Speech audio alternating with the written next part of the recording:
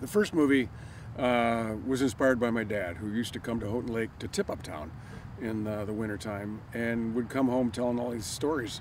His snowmobiles got stolen out of a, off a restaurant parking lot while he was here. I mean, all this stuff, cars fall through ice, blah, blah, blah. A lot of the stuff that happened in the first movie actually happened to my dad or somebody he knew or somebody in town at one point or another. I didn't have to fabricate a lot of this stuff. Uh, he, he's passion for making film. He loves to do this stuff, uh, which is part of the reason I like working with him because he shares, I think, what we all come up here to work with is that that energy and passion.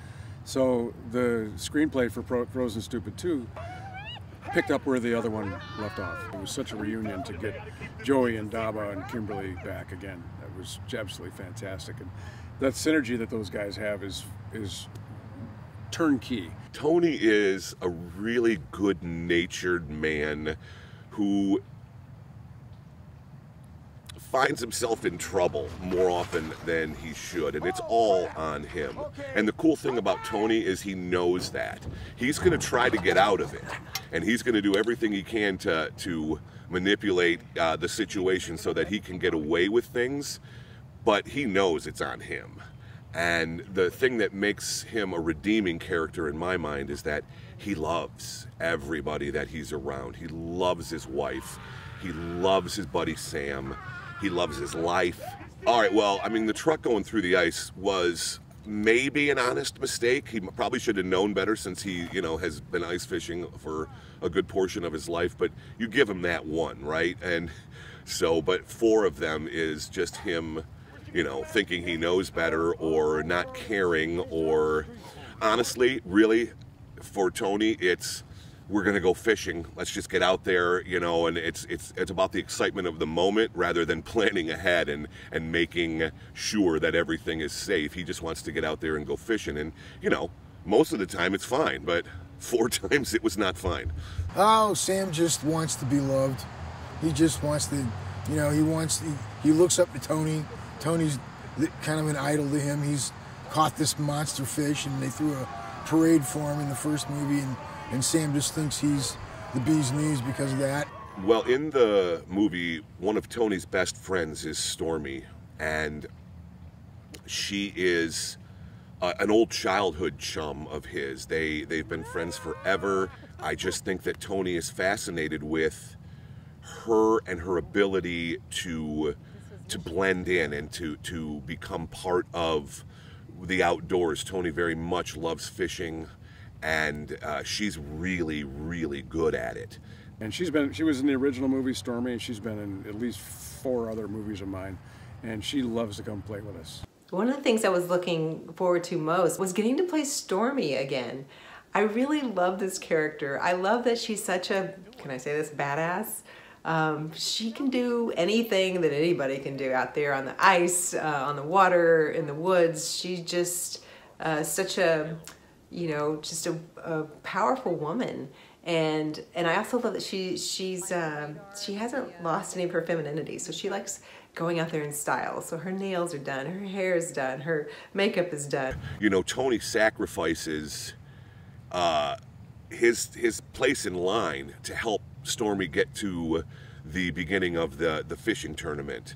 Stormy sacrifices a lot of things in order to help Tony and to make him feel better and to, to give him a hand with uh, with the contest as well. They're competitive with each other, very competitive, but they want each other to win too. It's one of those deals where if I can't win, I really hope Stormy does. Dab and I spent a lot of time in this boat together. It was a very small boat, so moving around was hard, and uh, you know, obviously you can see our physical statues are quite different. So the boat had a little lean to the driver's side. I was the driver, if you didn't guess. It's uh, that thing runs like a top. That was amazing. Uh, you know, when I first saw it, I thought, really? And and then we started it up and started going, and that thing just took off. I'm not sure what brand it even is. Uh, I made it up that it's a Baskerville Lake Cruiser. You know, if you look that up, there's no such thing. Um, but that's what it is, and it turns out to be quite a precious little boat. But even finding a boat that has no identity, where do you do that? Well, what other town in the whole world would just have a boatyard full of boats, and this one happened to be in the midst of it? Because of the publicity that the resorter uh, gave us, the whole community knew what we were doing. and uh, that's really great. And it's not that we need the attention, but what it does is it sends a signal to everybody in this town that something cool is happening. We absolutely cannot make a movie like this without, you know, active support from the community. The people here have been fantastic to us. Uh, really took good care of us. The camera boat was a pontoon boat. And then you had two picture boats, and both of those picture boats were moving up and down, of course, because it's water. And then also you had the camera boat that was moving as well. So the challenges were trying to understand and, and get familiar with that movement, and hopefully it's going to edit all together here in the studio. Out of all the scenes that I have edited thus far, in this movie. I have to say that one of my favorite has been when the boys are leaving the tournament launch area and they are rushing as fast as they can to a different, hopefully faster boat launch. And when we shot that, it took I don't know, a half a day, and we had multiple different cameras, some somewhere around the number of seven. We went all through this gamut of different lenses and had so much footage to go through. It was actually one of the more challenging different um, scenes because there was so much footage. There were, I think, four interns on this project, and they worked their behinds off. I, I believe they did a, a really nice job. They they cared. They wanted to do the best they could. They wanted to serve. There, I had a core team that became mentors for the interns too, and so there was this kind of double-sided event where they're doing their job, but they also have to kind of teach how it's really done. And I think that those kids ended up um, really learning a lot from them. I know they do. And what it's really like. This is not a classroom setting. This is a real world. As an editor, it has been super super rewarding and fun for me to see what we did out in the field in the pouring rain, in the fog, whatever it was, and how that all came together. There you go. Come on now. Yeah! You're sweet yeah! Catch more fish than many fish bite. Got good bait. Here's a little tip that I would like to relate. You did it, Rick. Nice. Good God. Ah, that is some Starsky and Hutch stuff.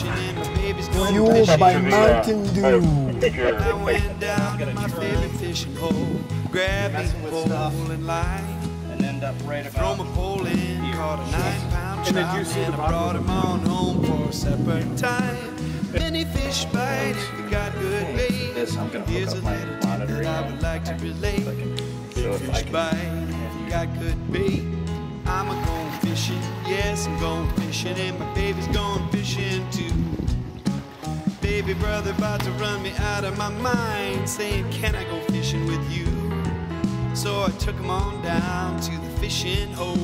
And what do you think that he did do? Pulled a great big catfish out the bottom of the pond, and he laughed and he jumped 'cause he was real gone. Big fish bite, got good bait.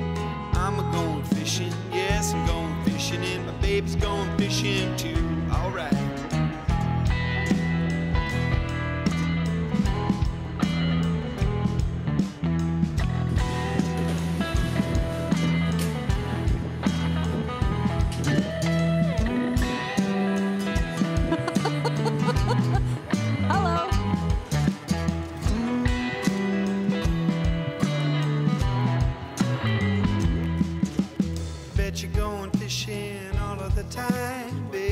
38 Bravo, take three, Mark.